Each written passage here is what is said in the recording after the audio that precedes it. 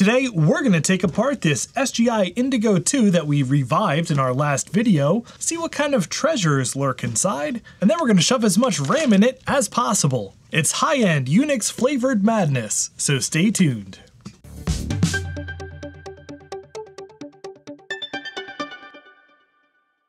And if you enjoy tinkering with rare and exotic e-waste, I hope you'll consider subscribing to the channel. This is my SGI Indigo 2 R10K Impact, an absolutely wild Unix-based graphics workstation that cost around $50,000 in 1996. These are the computers that made early CGI movies like Toy Story possible. In our last video, we replaced the dead hard drive with a SCSI to SD, and used a really cool project called Reanimator to install IRIX 6.5.22 from a Raspberry Pi.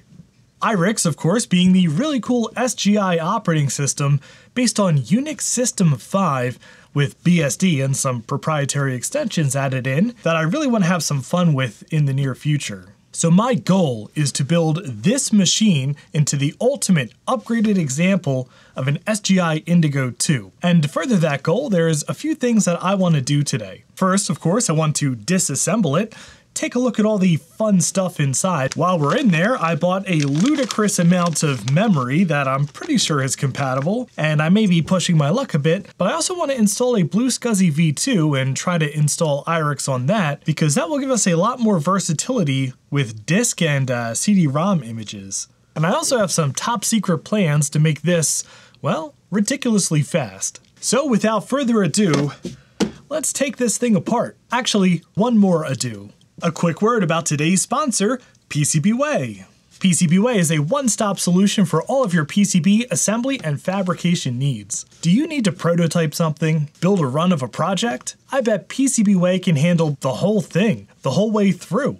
PCB prototyping starts at just $5 for 10 pieces, with as little as a 24 hour turnaround. And boy, do they offer a lot of different options Flex PCB, Rigid Flex, HDI PCBs, and they even offer PCB assembly, through hole, and surface mount. And that starts at just $29 for 1 to 20 pieces. The low pricing and ease of ordering has made PCBWay the preferred vendor for many in the retro community for years. So, if you have any PCB or prototyping needs, I hope you'll give PCBWay.com a try. Unfortunately, I still haven't figured out a solution for this busted front door other than double-sided tape. Now take the sword out. Front comes off. Super easy. Pop these drives out. Man, this is so pleasant to work on. And then on the front case, there are two buttons we can push in to lift the whole front off. And that brings the whole top right up like that. And just look how cool this thing is on the inside. We've got SCSI carried over flat flex cable with Silicon Graphics branding. And to take the graphics card out, we actually have a nice little door. look at that. Everybody always asks where I got this screwdriver from. It's Fanttik. All right. Whew. Look at this beefcake of a graphics card, dual layer. Look at these power connectors, or I, I assume they're power connectors. We'll come back to this thing. Just disconnect this cool flat flex cable. That is so neat. Aha. And here we have the heart of the beast, the R10K CPU.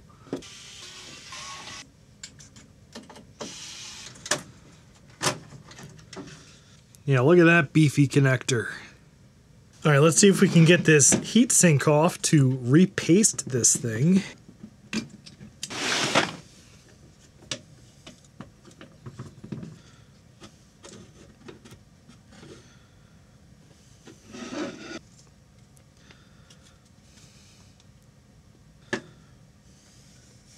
Almost missed this little guy right at the end here.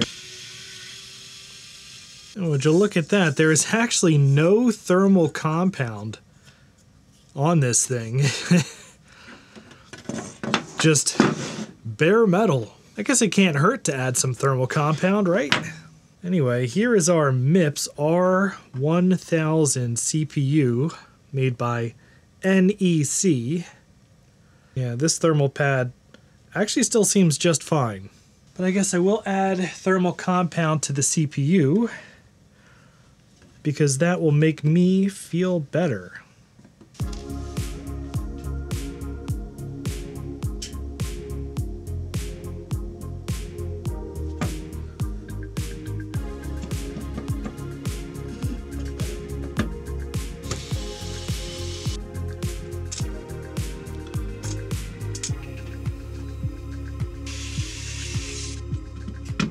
All right, while we're in here, I've purchased what I think is one gigabyte of RAM because that's actually how much this machine can handle.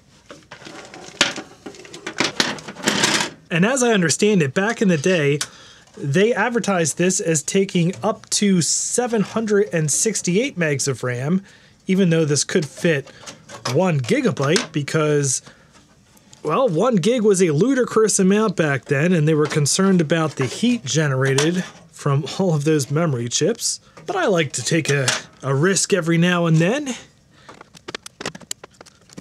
Oh yeah, that is a dense amount of RAM. Jeez, look at that. And this center board here, this is really just a riser with all of the ports on it. This gargantuan double stacked impact graphics card is connected by the GIO64 bus, which is proprietary to SGI, and also these very beefy power connectors. Yeah, I do not want to take this thing apart because it has flat flex cables and I would be terrified of ripping them off. And this isn't even the highest end graphics card, there is a triple stacked card, maximum impact, that I would love to get a hold of.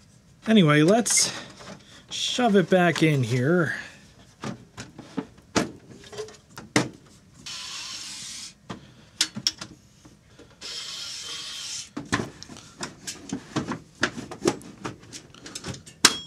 And check it out, I 3D printed these stands so we can stand our SGI up on its end. Pretty cool, somebody reverse engineered these from the originals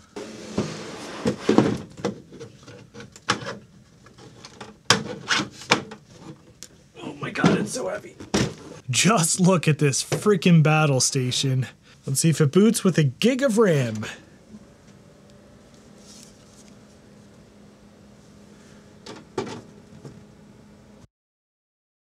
Alright, well I took four sticks back out and now it is booting back up. According to System Manager, main memory is 1 gigabyte, so I guess I just have no idea what the heck is going on. How big are these sticks? Okay, well, turns out I'm just an idiot. These are 128 megabyte sticks, and I tried to install 12 of them, which is more than 1 gigabyte.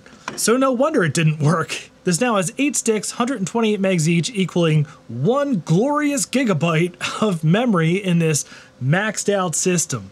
Uh, that is pretty cool for 1996. All right, so here is a nice fresh Blue SCSI V2, and on this 16 gigabyte SD card, I have a blank 4 gigabyte disk image.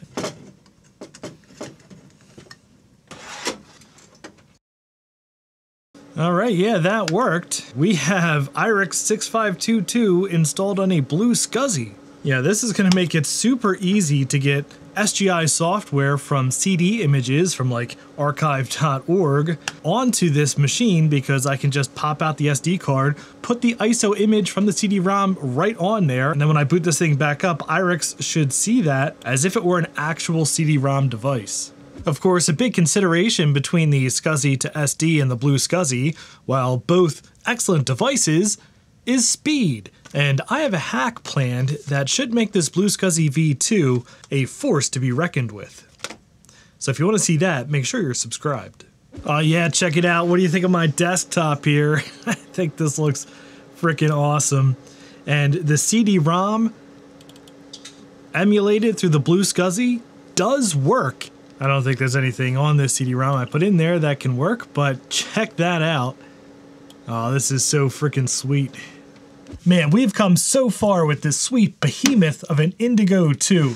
This purple monster now has 1 gig of RAM and working IRIX install on a blue SCSI that even works with CD-ROM ISO images. Now, I do want to find the top of the line cards for this thing, so I think there is a faster processor card and the three layer maximum impact graphics card, but I have a feeling those would be pretty hard to come by. In its current state, I think we could have some fun exploring SGI software and demos from back in the day, and I think I want to do a video about that because some of those demos are pretty freaking cool, and you might recognize some of those demos from a very famous movie from the 90s. It's a Unix system.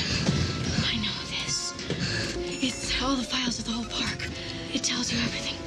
In any event, if you enjoy weird Unix graphics workstations, I'd appreciate a thumbs up. And if you'd like to see more stuff like this, please subscribe down below. And thank you very much for watching.